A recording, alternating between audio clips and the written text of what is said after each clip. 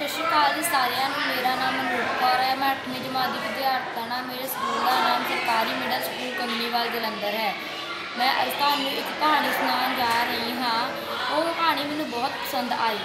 ਉਹ ਮੈਂ ਅੱਜ ਤੁਹਾਨੂੰ ਹੁਣੇ ਸੁਣਾਉਣ ਜਾ ਰਹੀ ਹਾਂ।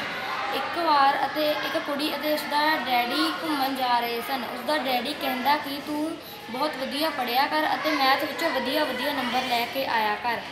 ਉਹ ਕੁੜੀ ਕਹਿੰਦੀ ਕਿ ਡੈਡੀ ਠੀਕ ਹੈ ਅਤੇ ਉਸਦੇ ਡੈਡੀ ਨੇ ਮੈਥ ਦੀ ਟਿਊਸ਼ਨ ਵੀ ਰਖਾ ਦਿੱਤੀ ਤੇ ਉਸ ਕੁੜੀ ਦੇ ਇੱਕ ਵਾਰ ਫਿਰ ਤੋਂ ਐਗਜ਼ਾਮ ਆਇਆ ਤੇ ਉਸ ਕੁੜੀ ਨੇ ਨ- ਪੇਪਰ ਪਾਇਆ ਅਤੇ ਥੋੜੇ ਵਧੀਆ ਨੰਬਰ ਵੀ ਆ ਗਏ।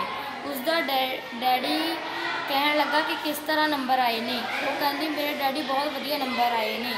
ਉਸ ਕੁੜੀ ਨੇ ਆਪਣੇ ਪੇਪਰ ਦੇ ਨੰਬਰ ਚੇਂਜ ਕਰ ਦਿੱਤੇ ਤੇ ਉਸਨੇ ਡੈਡੀ ਨੂੰ ਦਿਖਾ ਦਿੱਤੇ। ਡੈਡੀ ਬਹੁਤ ਖੁਸ਼ ਹੋਏ ਉਸਦੇ ਨੰਬਰ ਦੇਖ ਕੇ।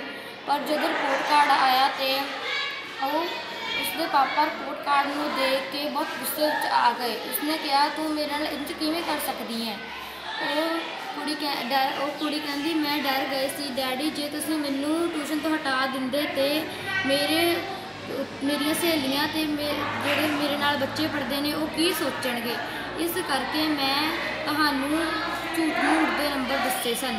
ਉਸਦੇ ਡੈਡੀ ਕਹਿੰਦੇ, ਪੁੱਤ, ਜੇ ਤੂੰ ਇਦਾਂ ਕਰ ਇਦਾਂ ਨਾ ਕਰੀ, ਅੱਗੇ ਤੋਂ ਵਧੀਆ ਵਧੀਆ ਨੰਬਰ ਲੈ ਕੇ ਆਈ ਤੇ ਜੋ ਤੇਰੇ ਨੰਬਰ ਆਣਗੇ ਮੈਨੂੰ ਜ਼ਰੂਰ ਦੱਸੀ। ਮੈਂ ਤੈਨੂੰ ਹੋਰ ਵਧੀਆ ਪੜ੍ਹਾਵਾਂਗਾ। ਧੰਨਵਾਦ।